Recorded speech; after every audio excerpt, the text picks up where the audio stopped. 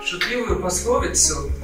Ну что серьезно? Грамматические правила серьезно в языке, но ими можно убить человека, и он вообще не будет учить язык. Занятой человек все-таки важная фигура в государстве, не только в городе. Вызовов у нас много. Нарва, вы знаете, 97% населения русскоязычное. Ирена сказала, я с радостью. Она ну, даже не думала. Чем интересен проект? Тем, что он помогает и людям, не только детям, но и людям взрослого возраста лучше включиться в процесс изучения языка и в более игровой форме. А мы знаем, что э, игровая форма расслабляет и э, помогает в этом деле. Родилась такая идея создать э, цикл небольших э, видео э, про эстонский язык. Когда мы искали эти, эти пословицы, поговорки, то иногда было трудно то, что э, мы, цель была же то, что люди сами предлагали бы варианты, искали бы еще. Это не страшно, что это порой смешно,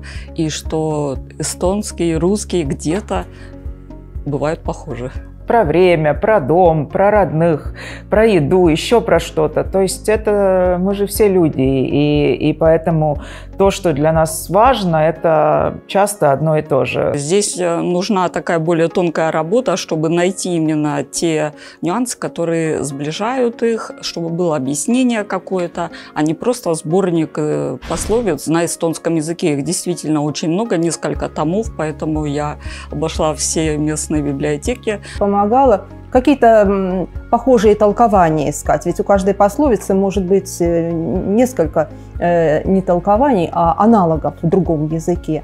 Вот. И даже если недословные, то родственные находились какие-то пословицы. Появились уже постоянные зрители, которые э, ждут выхода и отвечают, комментируют. Это, конечно, очень приятно. И такого рода проекты э, очень полезные для вот именно изучения и языка, и понимания культуры тоже. Э, два в одном, если так можно сказать. И, и они обязательно будут продолжаться, иметь свои, свой какой-то, свое продолжение. Реакция была очень хорошая. Рост интереса очевиден. А, к нашим интернет-ресурсам, к этим конкретным обоим проектам. Я смотрю, что люди с большим интересом подключаются к выполнению заданий.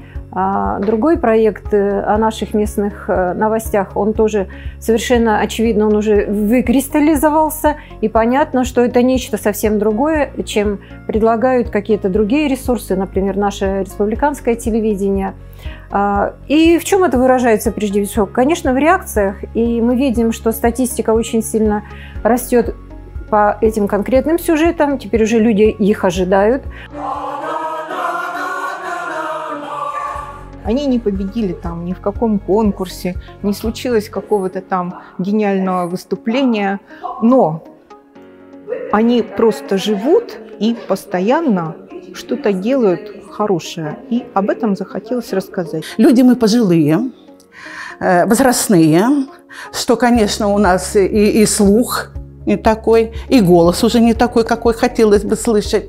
Э, вот. Но мы трудимся, мы стараемся. Вот есть такой коллектив, который как такое ясное солнышко показывает, что немолодые, в общем-то, люди – умеют и радоваться жизни, и быть в ногу со временем, и как-то никогда не терять оптимизма. Ведь э, этот коллектив вроде бы организовался когда-то там, 37 лет назад, строго говоря, как коллектив пенсионеров.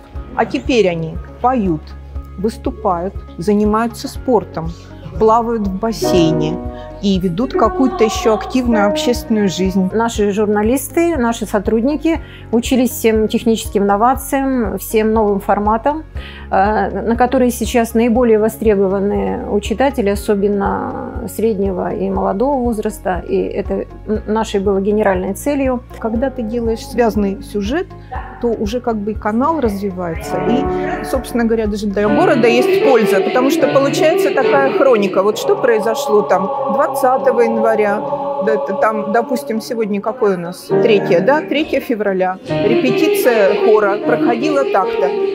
И в, в то же время это и сюжет об этом коллективе, и какая-то история, и это может и сейчас быть интересно смотреть, и через какое-то время.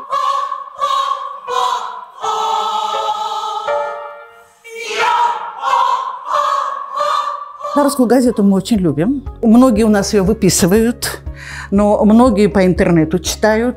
Вот. Но это в чем заслуга газеты? То, что она дает рекламу нашему коллективу. Мы ведь стараемся, чтобы в наш коллектив приходила и молодежь. А для того, чтобы заинтересовать их каким-то образом, вот именно такой источник нам нужен.